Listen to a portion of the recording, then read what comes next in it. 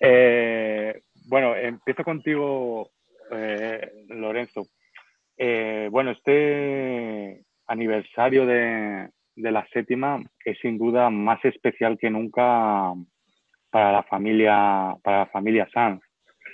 Em, ¿cómo, ¿Cómo afrontáis? Porque siempre es un día especial en vuestra familia, ¿no? El, el 20 de mayo. ¿Hacéis alguna celebración? ¿Hablabais mm, con vuestro padre? ¿Os juntabais o algo? ¿Siempre recordabais este 20, 20 de mayo de forma especial? Sí, como tú dices, se, recuerda de forma muy especial porque es un día súper señalado. No hacíamos como, como un cumpleaños, no hacíamos una fiesta como tal, pero sí es verdad que eh, yo que siempre he ido más al fútbol y he ido a muchos eventos con mi padre, este día era como un día señalado y así lo poníamos además en las redes sociales y así, eh, pues eh, obviamente estás hablando de, la vuelta a Europa por parte del Real Madrid después de un largo camino en el desierto y, es un día súper especial. Me imagino que para mi hermano Fernando, que habiendo sido jugador en, ese equipo, pues todavía mucho más. Yo desde fuera que era con mi padre de presidente y mi hermano de jugador, pues también para mí fue algo, fue algo increíble. Y, ya te digo que así lo ponemos en las redes, yo por lo menos. ¿no? ¿Y, dónde, mm, porque Fernando sabemos dónde estaba, porque era uno de los protagonistas, eh, ¿dónde estabas tú? ¿Estabas en Ámsterdam, allí en el campo? Ojalá, ojalá, yo no pude estar. Yo estaba en Madrid, en mi casa de Madrid, eh, porque bueno, yo formaba parte de la primera plantilla de, del baloncesto, del equipo de baloncesto, y, y ese, ese, partido exactamente al día siguiente viajábamos a jugar en Barcelona eh, playoffs contra, contra el Manresa. Así que no pude ir eh, a, ese partido y lo vi en, mi casa, bueno, casa de mis padres, eh, con muchos amigos. tenemos un salón arriba con una pantalla gigante y estuvimos ahí viéndolo. Y imagínate, bueno, según acabó el partido me bajé a Cibeles como uno más con de los no sé si el millón de personas que debe haber esa noche en Cibeles, que fue algo increíble, ¿no? Y, no pude ir a Ámsterdam, así que sí, sí, fue toda mi familia menos yo. Tú te quedaste, te quedaste aquí en Madrid, por, claro, estabas con el equipo de baloncesto y no, no pudiste ir. Tú, Fernando, sí que estabas, estabas allí como, como uno de los grandes protagonistas de ese, de ese equipo que se hizo campeón de Europa después de 32 años. Eh, ¿cómo ¿Fue muy grande la presión antes de ese partido contra la Juve? ¿Cómo llegasteis el equipo? Bueno, presión. A ver, eh, yo creo que el Madrid siempre tiene presión, ¿vale? Pero eh, lo que está claro que en esta Copa Europa la llegada primero fue una llegada hasta la final teniendo una participación o un bagaje en la competición nacional en la liga, bastante mala, porque estábamos en una competición bastante floja pero sin embargo en Copa Europa, en este caso la Champions, estábamos haciendo una participación eh, espectacular. Eh, una participación bastante, bastante buena, ¿no? Eh, me acuerdo cuartos de final contra el Bayern Leverkusen, semifinales contra el Dortmund, y luego la final contra Super Juve.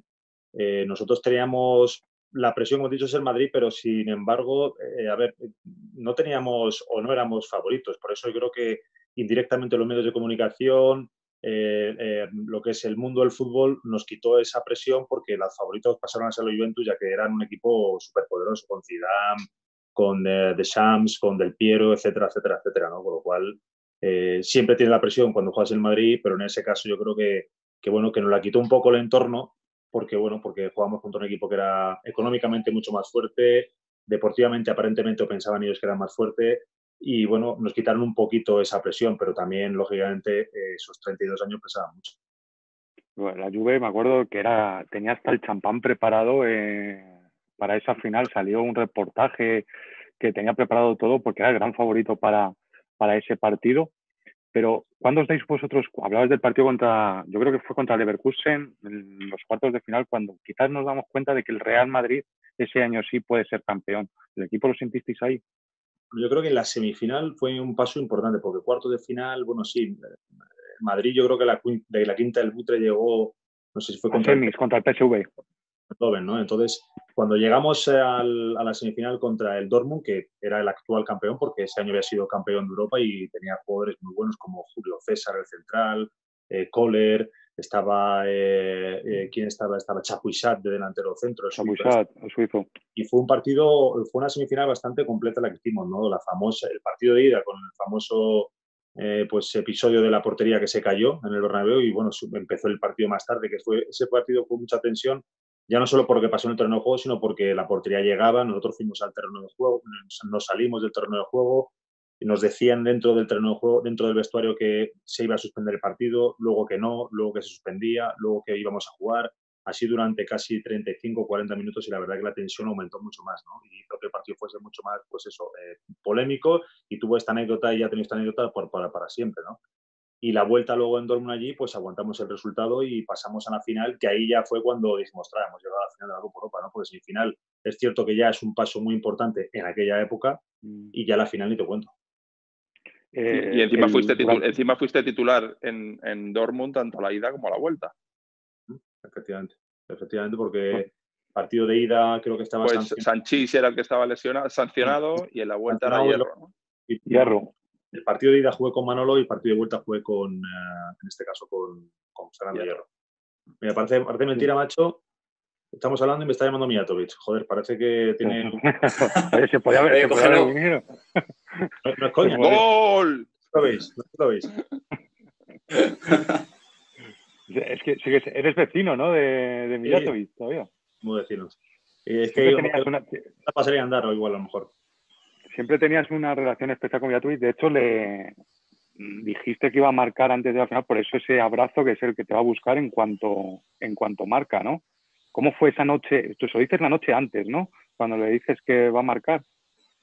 No, pero bueno, sí, no, la noche antes es que al final hay mucha, mucha mucha leyenda. Mucha leyenda en torno a esto y la verdad que es una cosa tan simple. Me gustaría, bueno, muchas de las historias que se han dicho por ahí, me gustaría que hubiesen sido ciertas, pero no, la realidad es que la comida de antes del partido, o creo que del día antes del partido, no recuerdo ya muy bien, estábamos en la mesa Davor, Pella Guti y yo, porque Pella hacía, tenía de compañero de habitación a Davor y yo mi compañero de habitación era Guti.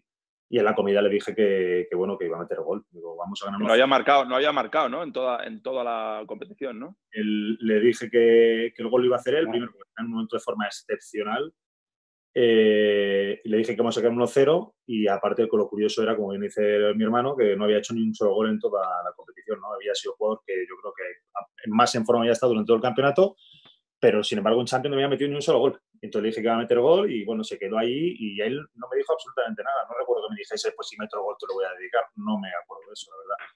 Pero lo curioso es que cuando él mete el gol, pues lo primero que se acuerda de mí. También es cierto que, como tú bien dices, llevamos o tenemos una relación muy, muy, muy estrecha. Eh, somos vecinos desde hace, pues, eh, yo qué sé, más de 20, desde el año 96, desde que él llega a Madrid, somos vecinos, ¿no? y tenemos una relación muy, muy estrecha. Pero bueno, yo creo que eh, que un tío meta un gol de esa importancia, que es el, el, gol más importante en su carrera y que inmediatamente pues venga a dedicarme a mí, pues la verdad que cuanto menos te, bueno, te, te, quedas un poco en shock. Pero bueno, yo inmediatamente salí fuera del banquillo a abrazarme con él. Lo que pasa es que siempre tengo la mala suerte de que eh, la televisión está enfocándole a él cuando mete gol, que va enseñándole a alguien, y cuando vamos a juntarnos en una grada, de repente enfoca la grada, con lo cual yo nunca aparezco en esa imagen y nunca tengo esa imagen que, es una imagen muy, muy, bonita. Y en cuanto al tema de la historia, luego se han dicho muchas cosas de que si yo de madrugada me levanto eh, porque tengo un sueño, voy a su, habitación, le toco la puerta, le digo que va a meter gol, o me queda muy chulo, pero no es la verdad, la verdad es lo que te he dicho. Tú cuenta eso, eso hubiera quedado mucho, hubiera quedado mucho mejor. Es, que es, dale. Esta historia yo no sé quién se la inventó, que empecé, empezaron a decir de que si yo de madrugada me había levantado porque había tenido un sueño, piqué o toqué la puerta a su habitación y que él abrió la puerta y que me vio como desencajado y que tenía un sueño. Es queda muy chulo, la verdad, pero no, no, tiene nada que ver con lo que es un simple, pues una simple comida, una simple concentración que fue muy larga, pues estuvimos concentrados en la ciudad deportiva de la selección holandesa, eh, muy larga, muy aburrida, tuvimos mucho tiempo porque era un sitio, era muy bonito, pero estaba a las afueras de Ámsterdam, era súper aburrido para la concentración y para los eh, posteriores entrenamientos era perfecta pero se hizo bastante larga y tuve mucho tiempo para charlar, estar juntos y bueno, en una de esas charlas pues le comenté esto a Pella y sobre todo lo que aquí es curioso, llamativo y sorprendente es que nada más meter el gol del primero que se acuerde de mí de esa conversación que tuvimos el día anterior. Parte de esas leyendas también está la que, mm, me acuerdo de que había, había, habido reuniones entre los jugadores en las habitaciones, concienciándose para la final. ¿Eso pasó o, tampoco pasó? Eso lo ha contado, lo ha contado Fernando Hierro muchas veces. Eso viene sucediendo, sucede habitualmente en casi todas las concentraciones o en casi, todos los equipos de fútbol o en grupos deportivos que el día antes de competir pues a lo mejor se reúnen o después de competir y tienen que seguir estando en el hotel concentrados pues se reúnen para hablar del partido, para, charlar, pues esto sucede habitualmente y en el Real Madrid en esa época pues sucedía. ¿Y, y, tu padre os vio antes del partido? ¿Os dijo algo no, a ver, eh, iba por allí por la concentración, como pues, eh, más gente del, del, entorno del Real Madrid, en este caso directivos. Eh, los familiares no estaban allí, pudimos verlo, creo, pudimos ver a los familiares, creo que no sé si un día antes o dos días antes del partido que pudieron acceder allí donde estábamos nosotros y bueno, estuvimos nada, muy poco tiempo con ellos porque estuvimos totalmente aislados y prácticamente no tuvimos contacto con absolutamente nadie. ¿Y recuerdas la, primera conversación, la primera conversación que tuviste con él una vez que sois campeones de Europa? Uf, tendría que recordar mucho, pero sinceramente no lo sé, porque es que fue toda una locura. Eh, yo creo que hay miles de imágenes de los jugadores se vuelven locos o nos volvemos absolutamente locos, porque es una cosa impensable, una cosa que era como romper una maldición de 32 años todo el mundo no sabía, no había protocolos de nada. Eh, incluso mi propio padre, muchos directivos bajaron al terreno que por, creo que por ello fueron sancionados, solo tuvieron una sanción, creo recordar, no lo sé, porque por aquel entonces estaba prohibido que bajase tantísimos directivos y bajó todo el mundo porque claro, era una cosa histórica. Y, recordar es que luego fuimos a los vestuarios, después de los vestuarios eh, autobús, después de autobús fuimos a la cena, la cena también fue un caos porque no había nada preparado y se tuvo que sobre la marcha preparar algo, salones, eh, no había mesas para las familias, bueno, era un auténtico caos, por lo cual es que no... Yo creo que... Estaba la, no estaba la celebración preparada. No, yo creo me acuerdo casi más ya la vuelta al día siguiente, casi sin dormir, todo el mundo agotados, la vuelta eh, en el avión que volvimos a, a, Madrid. Me acuerdo perfectamente que yo iba sentado con distancia de seguridad, porque teníamos sitio de sobra. Estaba en la ventanilla Jaime sentado y yo estaba al lado suyo, no al lado suyo, había un asiento en medio, y yo estaba al otro lado, viajamos juntos ahí los dos y fue llegar a Madrid y ya fue la locura, la locura auténtica de, de, miles y miles de personas durante todo el recorrido. Aparte ahí se tuvo, yo creo que el Madrid tuvo, no sé si eh, el que dirigía el Madrid en aquel entonces, que habría, habrá que atribuirse a mi padre, la, yo creo que tuvo la, el acierto de repetir la última vez que Madrid ganó la Copa Europa, ¿no? que fuimos todos en coches descapotables. Tres, coches, tres jugadores por coche y, la verdad que fue muy, muy entrañable. Estuvo muy, muy chulo porque es que fue un recorrido de locos. Yo en el coche iba con Amavisky y con Caranca y fue una barbaridad. Fue una barbaridad porque tú por donde mirabas veía gente por, todo, por todos lados, ¿no? pero, pero, por todos lados es por todos lados, balcones, calles, eh, plazas y luego ya entrar en el Bernabéu fue una auténtica locura. Sí, es verdad que se ha quedado para siempre esa celebración con los descapotables, eh, paseando la, la, Champions por Madrid y quedó, y quedó muy bien. Eh, Lorenzo, eh, ¿qué significó para tu padre esta, esta Champions? Significó todo, ¿no? Lo era, lo era todo. Imagínate, fue, fue la, la recompensa a, a, ese proyecto que había iniciado en el 96 cuando entra en el Madrid, en el 95 entra en la presidencia del Madrid, que, eh, hace una revolución en cuanto a fichajes, ¿no? Eh, ficha a todos estos jugadores, empezando por el entrenador, luego todos estos jugadores que, ficha, Peja, Zucker, Sidorf, eh, eh Panucci, Roberto Carlos, Ilnel, Karen B. Es que, es que fíjate, la, nómina de jugadores que se suman a, esos jugadores que había del Madrid, como era Hierro, Raúl, Redondo, eh, más la cantera que, ya venía apretando, ¿no? Como mi hermano Guti, Jaime, eh, estos jugadores que, venían apretando y que, ayudan también a, poner su granito de arena que ese equipo pues eh, gane primero la liga en ese 96 y luego 96-97 y luego se gane esa Copa Europa que era algo que el madridismo realmente lo necesitaba, ¿no? Porque era vuelta un poco a, reinar en Europa después de tanto tiempo. Entonces ganar esa Copa Europa fue, o sea, es que eh, para el Madrid, para la familia, para, para todos. fue algo increíble. claro, el espaldarazo. la generación, las generaciones de ahora están acostumbrados a ver al Real Madrid ganar, ganar el Champions, pero pero claro, hasta el 98 eso era algo... Una utopía, y sobre todo los que, los que de nuestra quinta habíamos vivido todo lo que pasó con la quinta del buitre, que fue, que fue un poco injusto que ellos no ganaran esa Copa Europa, ¿no? La famosa esa Copa Europa que se pierde en Eindhoven en las semifinales, que habíamos hecho un campeonato increíble eliminando a Oporto, que, había, que era el campeón anterior, eliminando al Nápoles de Maradona, eliminando a... O sea, fueron cayendo los mejores equipos, porque antes no había fase de grupos ni nada, mm. era el que te tocaba, eh, duelo a muerte y claro, pues, si tienes un camino fácil, dependiendo de quién te vaya tocando, pues es más fácil acceder a, la final. Sin embargo, eh, tal y como está planteada la Champions hoy en día, tienes que jugar, acabas jugando con, equipos complicados, pero entonces no, y, tuvimos, ah, claro, tuvimos una, una, Champions que eran los mejores de Europa y acabas perdiendo con el PSV Eindhoven siendo infinitamente superior, eh, teniendo 7.000 oportunidades y ese equipo se merecía, después de además de ganar tantas ligas seguidas, se merecía haber ganado la Copa Europa. Yo creo que eso fue un poco, bueno, pues el madridismo estaba súper frustrado con eso, ¿no? Y cuando de repente se ganó luego a los pocos años esa Copa Europa fue algo increíble, claro.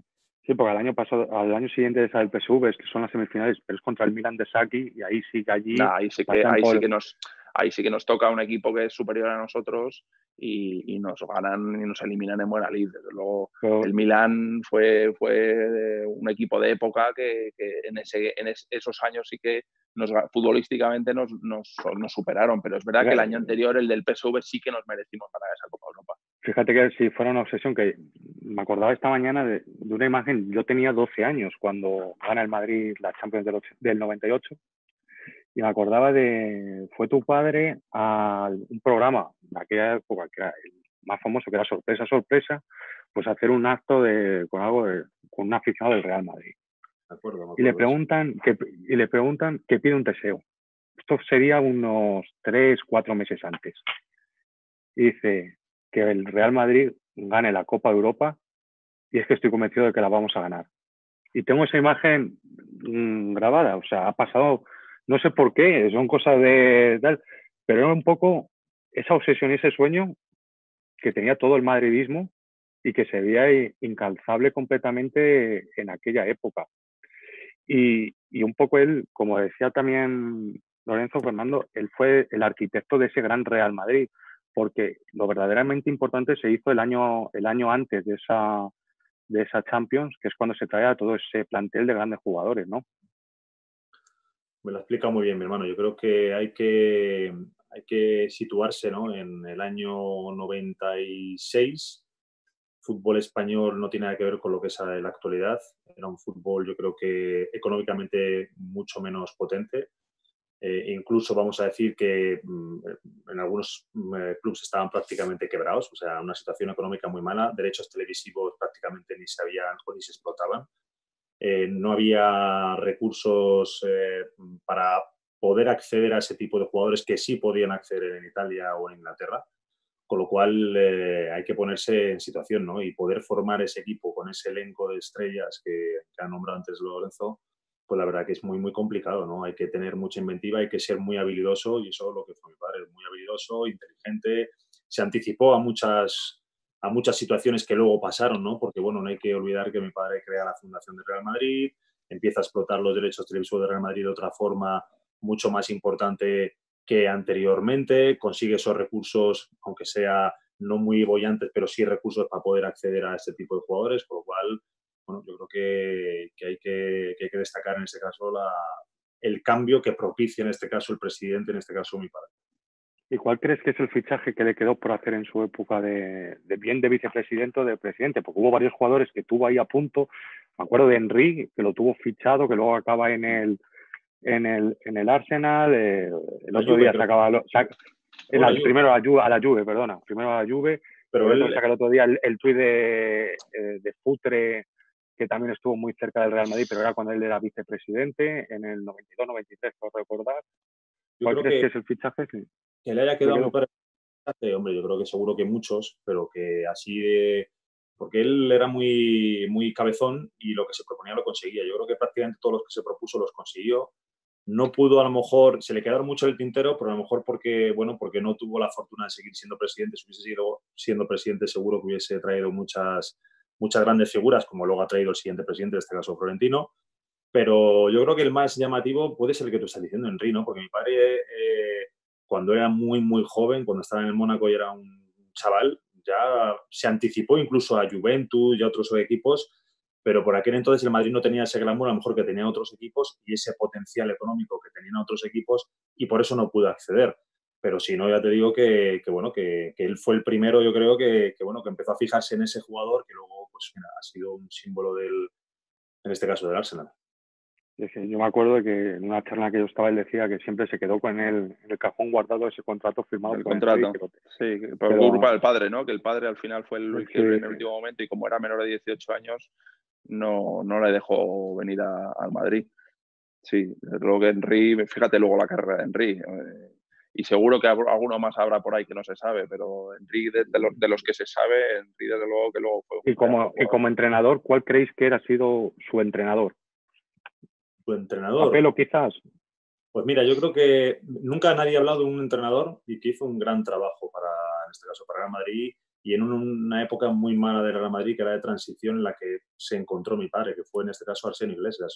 Arsenio Iglesias, eh, hizo un grandísimo trabajo por una época complicadísima. Estaban terminando las vacas sagradas de aquel entonces, estaba cambiando ese Real Madrid para el Real Madrid que iba a venir y bueno, le eligió mi padre a él vino a mitad de temporada y tuvo que comerse un marrón bastante grande de, pues eso, de, terminar ese año y fue una situación muy, muy, muy, o fue un final de año bastante desagradable que yo también estuve y estuve dentro y fue un año un final de año muy, muy desagradable y en este caso Arsenio hizo un papel muy importante.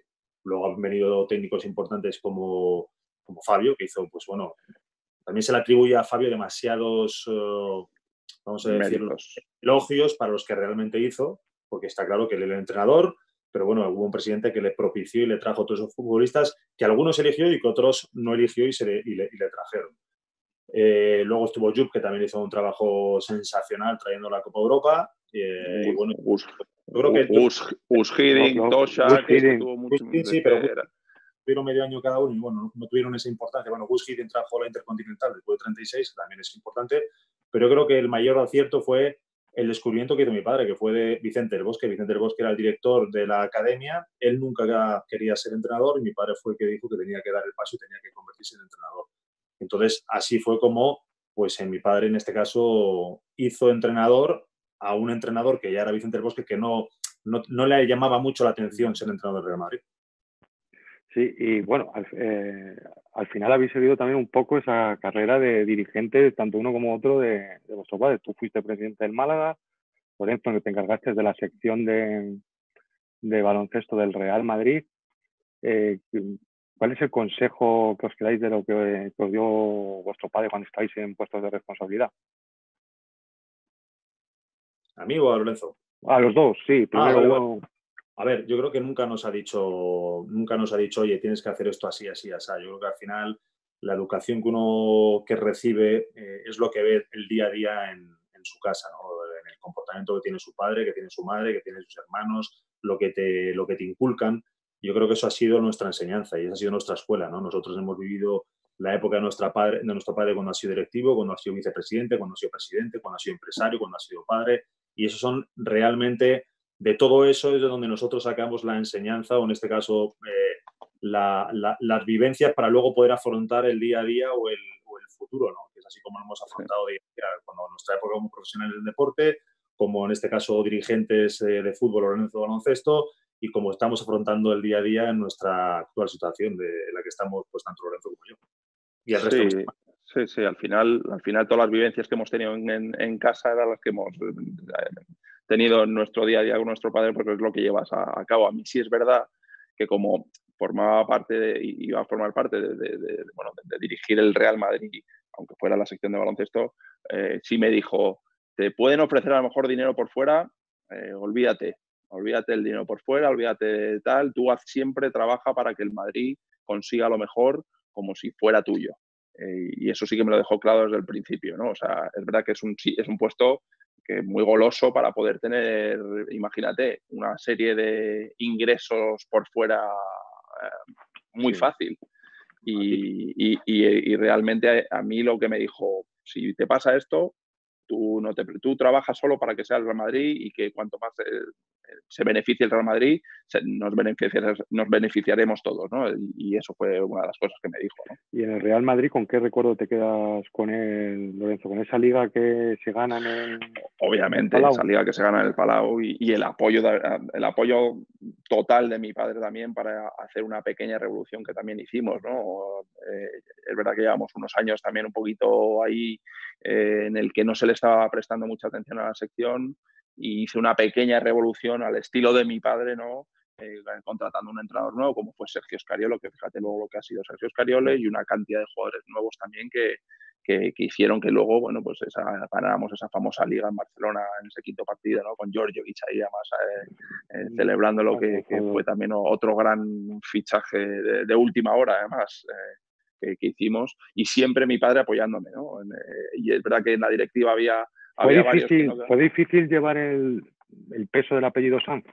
Sí, sí, sí. Bueno, a mí en ese sentido, en, llevando ya de jugador y luego de director, siempre lo hemos sí, por lo menos lo llevado y mi hermano que seguro que también, ¿no? Eso es, eso es algo con, el que, con lo que hemos convivido siempre, ¿no? Y, y, daba igual las, lo que hicieras, que siempre podría haber algún sector del, público de, o del, aficionado que te iba a decir, es que claro, es que tú eres el hijo de... Pues eso, con eso hemos convivido siempre y, y lo hemos llevado lo, mejor que hemos podido, yo por lo menos. ¿no?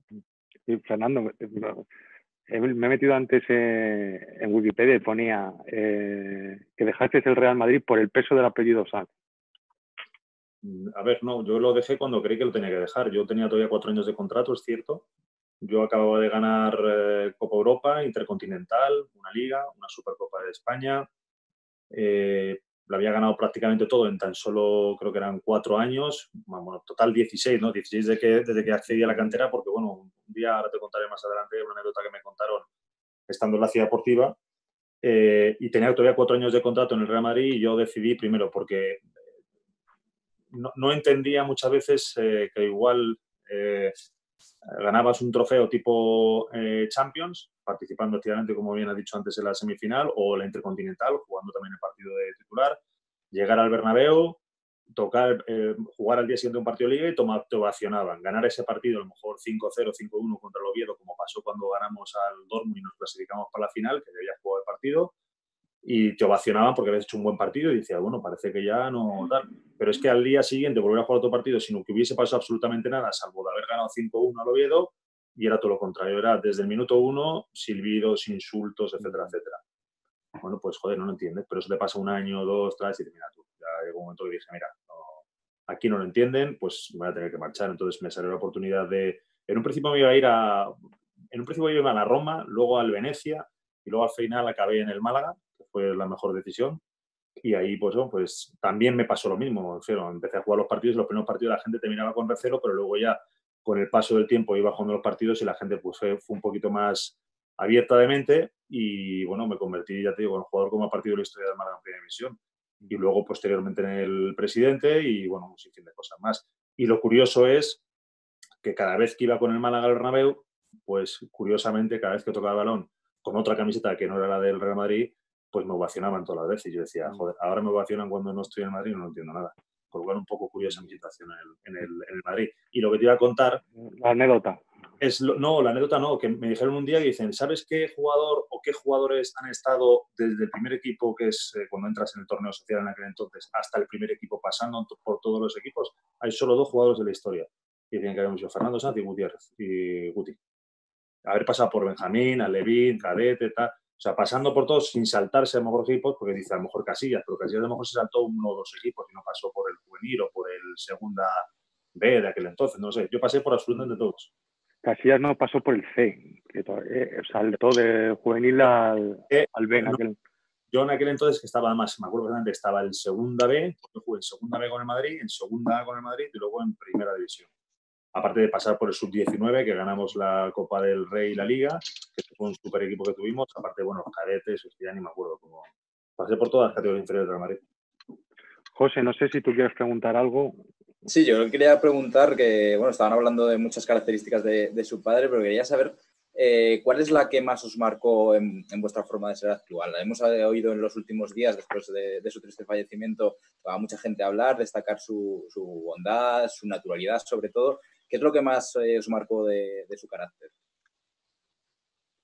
Es que, es que eso que dice la gente, ¿no? Es que es así. Mi padre era súper humilde con todos y súper campechano, súper cercano a todo el mundo. Algo que hoy en día es difícil de ver, ¿no? Él trataba a un camarero igual que a un ministro y, no tenía ningún problema en, bajarse, hacer una foto, atender, ayudar, en lo que fuera posible, porque ahora, viniendo de una familia humilde, es lo que tiene, ¿no? Que, que, saber lo que es haber pasado por, tantos eh, estados en, tu vida que, atiendes a todos. Y él era así, es que la verdad es que él era así, ¿no? Entonces, eh, ahora se ha destacado toda esta humildad y aparte de esa humildad, pues sobre todo esas esas ganas y, de, y, esa fuerza que siempre imprimía en todo lo que él hacía en Madrid, lo que le llevó a, tan lejos, ¿no? O sea, esa ambición de, esos fichajes que hizo y todo lo que hizo, desde luego que mm, ahora viéndolo a la distancia es admirable, ¿no? No, todo el mundo puede cambiar y, hacer lo que hizo él, eh, sobre todo viniendo de, una familia tan humilde como la que vino él. Yo es muy complicado que te diga que algo que pues, es muy complicado. Es muy complicado poder, decirte algo porque son tantas cosas y todas son tan positivas y tan buenas que quedarme con una es, es imposible, por no decirte que sería injusto, ya que eh, yo creo que mi padre, lógicamente, tenía defectos como todo el mundo, pero yo creo que para nosotros que somos hijos, yo creo que no se los veíamos o yo te puedo decir que yo no le he visto nunca casi ningún defecto. Yo creo que todo lo que he visto ha sido pues eh, un espejo en el que mirarme, en el que mirarnos todos una persona hecha a sí misma que triunfa, que llega a cotas insospesables, una, persona, una persona que logra atraer y conseguir lo que consiguió para el Real Madrid, eh, una persona que a nivel empresarial consigue lo que consigue, una persona que a nivel familiar consigue crear y formar una familia que consigue. O sea, es todo, es todo eh, positivo. Entonces, que me digas que me quede con una, para mí es imposible, ¿no? Pero ya te digo, es, es, eh, es yo creo que el, que el, que uno te diga que es un espejo en el que, en el que uno se quiere reflejar y el uno que quiere llegar a ser, que es imposible que podamos llegar nunca a lo que ha llegado a él, ¿no? Nosotros, por mucho que intentemos, va a ser muy complicado porque la figura suya, bueno, y solo hay que ver lo que ha dicho todo el mundo, ¿no? Que, que bueno, que se le ha reconocido, pues ese que ha sido una figura clave en la historia del Real Madrid para esa transformación del Madrid, vamos a decir, un poco más antiguo al Madrid moderno. Yo no sé cómo, cómo os hablaba de todos estos recuerdos que hemos estado trasladando ¿no? sobre la, séptima.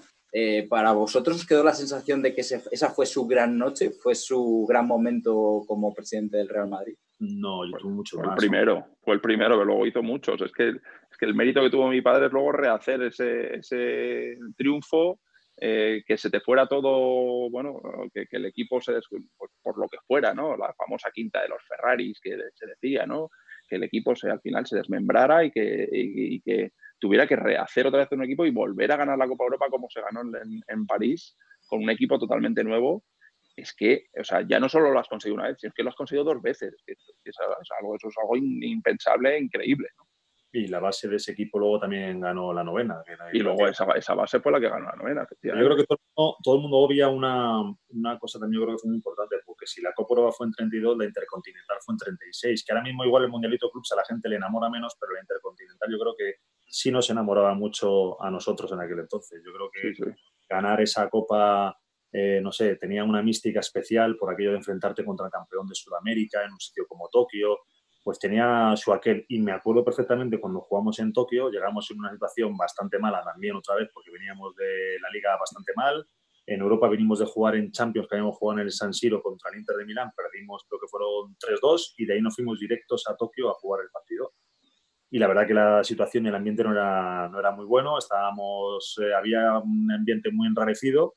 El rival, Vasco da Gama, era un rival bastante importante con jugadores estratosféricos que luego en el futuro sí que lo fueron y que han demostrado que eran gran, grandísimos jugadores, como Juninho Perman-Mucano, por ejemplo, estaba en ese equipo.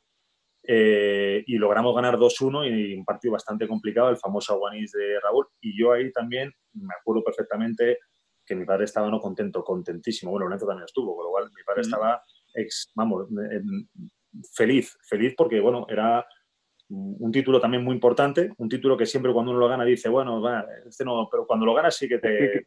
Quizás que no tenía más importancia antes porque los el nivel de los equipos sudamericanos era superior al que hay ahora. Sí. Bueno, y aparte era un, era un solo partido, eh, no es como ahora que, bueno, a lo mejor ahora tienes que jugar dos o tres partidos, pero no sé, e, e, era una mística eh, especial, ¿no? Aparte, el irnos hasta Tokio, que es la otra parte del mundo, eh, no sé, fue un, título bastante, bastante celebrado, lo celebramos bastante allí, lo, lo, disfrutamos y yo creo que es un título también muy, muy importante en la historia de Real Madrid, primero porque, vuelvo, a decirte, era, pasaron 36 años, y la Copa Europa fueron, la Champions fueron 32, en esta fueron 36, con lo cual yo creo que tiene esa importancia si cabe. Para terminar, ¿cómo, cómo os gustaría que recordara el madridismo a, a vuestro padre? Y luego, ¿cómo tenéis en mente también ese homenaje que le hará seguro el Santiago Bernabéu en el primer partido que haya público que se pueda dar ese homenaje como se merece a un presidente como fue Lorenzo Sanz. Hombre, yo poder... A ver, eh, ¿cómo se le recuerda? Yo creo que la gente eh, ya lo está haciendo como una persona, o ya lo, está, ya lo está haciendo y ya lo está diciendo y ya lo está reconociendo, como una persona que, que bueno, que cambió la historia de Real Madrid una persona que, dentro de de Real Madrid pues, ha sido muy importante y así se lo está reconociendo el propio Real Madrid y así se lo está reconociendo la propia afición. Eh, una persona que consiguió lo que nadie pensaba que pudiese el Real Madrid volver a alcanzar, que es eh, la Copa Europa o la Intercontinental, porque una da, acceso a la otra. Una persona que, bueno, que, bueno, que, es, eh, es ya te digo, vital en la, en la, en la historia de Real Madrid, ¿no? Y homenajes, homenajes, ya te digo, habrá tiempo de pensarlos, pero lo que está claro es que, que bueno, todo el mundo coincide y todo el mundo quiere en, bueno, en atribuirle y en darle un homenaje pues, eh, a la altura de un presidente, de uno, de los presidentes más importantes de la historia de Real Madrid, por lo cual eh, ahora mismo por la situación no se puede, pero está claro que, que en un futuro próximo, porque es lo que la gente quiere, porque es lo que todo el mundo quiere y desea y, necesita despedirse y sobre todo también nosotros despedirnos de una persona que, bueno, que ha sido tan importante en nuestra vida y también que ha sido muy importante en la vida de Real Madrid, ¿no? Y te lo digo porque muchos de esos jugadores de los que hemos estado hablando, pues eh, mantengo eh, contacto con ellos y me llaman continuamente para, para, interesarse y para saber qué es lo que se va a hacer y que quieren participar y que quieren estar, lógicamente, en ese día. Sí, sí, como dice Fernando, desde luego que el homenaje que ya sabemos, además el Real Madrid está deseando también hacérselo porque sabe de todas esas muestras de cariño que ha recibido. Nosotros hemos recibido muchas, pero el Real Madrid también, ¿no? Al final eh, él ayudó a hacer mucho más grande al, equipo y, el Madrid es el primero que quiere darle un homenaje como se merece y que así nos lo ha hecho saber en cuanto esto pase habrá que tendrán que se, tendrá que ver de qué manera y cómo no me imagino yo sobre todo me, me imagino un Bernabéu eh, con todo el madridismo allí despidiéndolo eh, y con todos esos jugadores, como dice Fernando, que, en su día trajo, pues también eh, despidiéndole y, me imagino, pues, pues eso, todo el madridismo unido en torno a la figura de mi padre que, tanto significó ¿no? para el Real Madrid y, para la ciudad de Madrid, ¿no? El, madrileño de, pura cepa, de que ya iba desde pequeño a ese Bernabéu y que, él ya ha llevado siempre a su ciudad en el corazón y a su equipo. ¿no? Entonces, eh, yo creo que es más que merecido eh, este homenaje que le, que le, van a hacer. ¿no? Muchas gracias a los dos y que el 20, al final del 20 de mayo siempre recordaremos la figura de Lorenzo Sanz, que es lo que va a quedar para siempre. Pues muchísimas gracias. Eh, no sé si os ha contado mi hermano, ¿no? Que había con esa fecha hay una anécdota también. No. El teléfono de mi padre durante muchísimo tiempo, hasta que ya lo tenía mucha gente, era eh, 20, eh, 20, ¿cómo era? 20, 20 05 98. 20 muchísimo tiempo hasta que ya el teléfono tenía tantísima gente que ya tuvo que cambiarlo. Pero fue durante muchísimos años, una vez que se ganó la Copa Europa, se puso el teléfono para recordar la fecha. Qué bonito, o sea que es verdad que lo, y luego se lo tuvo que cambiar, sí que me, acordaba yo de eso, no, no me había acordado, de que pues tenía 20, 2005 98 correcto, más el 639 o 638 o 607, es lo que sería adelante, no me acuerdo. ¿Nos acordamos del resto o nos acordamos de lo fácil? Que son los tres, primeros números. Pues nada, Fernando, Lorenzo, que gracias, ¿vale?